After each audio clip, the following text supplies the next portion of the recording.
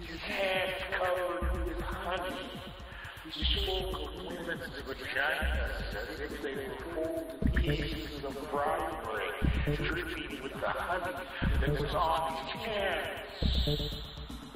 He was a dirty man.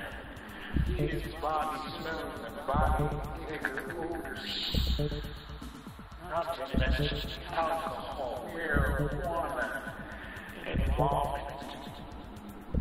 He was a savage man once, before he lost some of his teeth.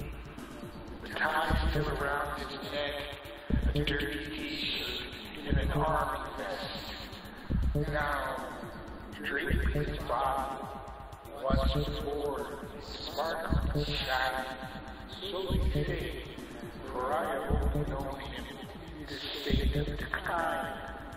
The women flock to do no sin,